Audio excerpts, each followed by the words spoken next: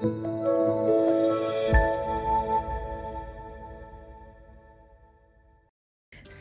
to our channel by clicking the subscribe button. Click the bell button and enjoy the latest uploads from our channel. Hello viewers আসসালামু আলাইকুম কেমন আছেন আপনারা সবাই আশা করি আল্লাহর রহমতে আপনারা সবাই অনেক অনেক ভালো আছেন বন্ধুরা, আজকে আবার আপনাদের জন্য মাইক্রোসফট ওয়ার্ডের একটা নতুন টিউটোরিয়াল নিয়ে হাজির হয়েছে আজকের এই টিউটোরিয়ালের বিষয় হচ্ছে আমাদের মাইক্রোসফট ওয়ার্ডের যে ফরম্যাট অপশনটি রয়েছে ফরম্যাট অপশনের ভিতরে আমাদের পিকচার নিয়ে যখন কাজ করব, তখন এখানে আমাদের কম্প্রেস পিকচার নামে একটা অপশন আসবে, এই অপশনে নিয়ে কীভাবে কাজ করতে হয়, এই অপশনের কাজ কি, প্রত্যেকটি অপশন আজকে আমি আপনাদের স্টেপ বাই স্টেপ করে দেখাবো। তো আপনারা যদি কাজটা শিখতে চান, অবশ্যই ভিডিওটি শুরু থেকে শেষ পর্যন্ত দেখবেন, তাহলে সম্পূর্ণ কাজটি শিখতে পারবেন। তো চলুন টিউটোরিয়ালটি আমরা শুরু করে দিই।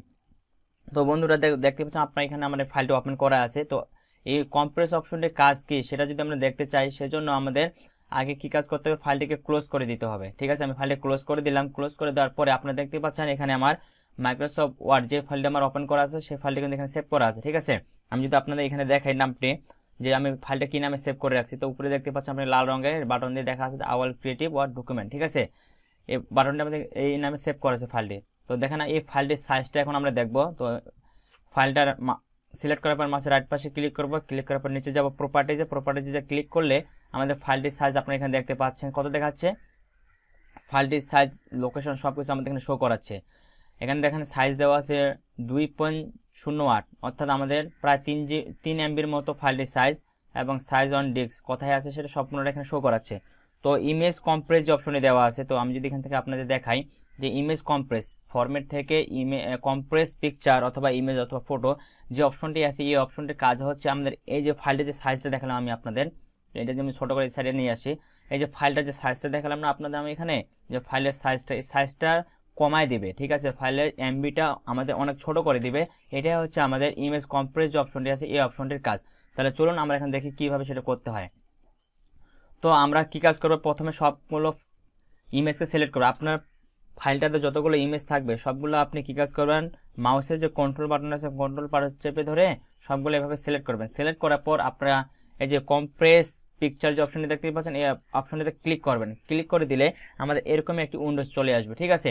এরকম উইন্ডোজ আসার পরে আপনারা দেখতে পাচ্ছেন এখানে আমাদের মোটামুটি অনেকগুলো অপশন দেওয়া আছে। যেমন উপরে দেওয়া আছে কম্প্রেস পিকচার তারপরে দেওয়া আছে কম্প্রেশন অপশন তো আপনার কী কাজ করবেন? এই দুটি অপশন যদি দেওয়া আছে, উপরে যেটা দেওয়া আছে, যে apply only to this picture এই অপশনটা আপনার টিকমার দিয়ে দেবেন। যদি টিকমার না দেওয়া থাকে, এটাতে টিকমার দিয়ে দিবেন।